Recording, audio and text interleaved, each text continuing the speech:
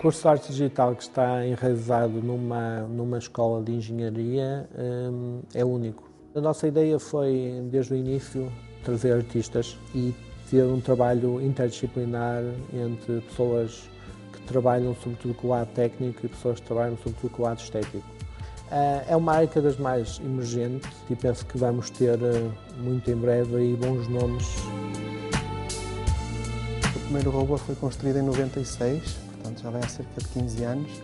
Ah, e desde então temos vindo a construir os mais variados robôs, normalmente robótica móvel e autónoma. Aquilo que desenvolvemos para a robótica poderá ser considerada lúdica, depois podemos aplicar na indústria ou na sociedade e tem tido bastante sucesso.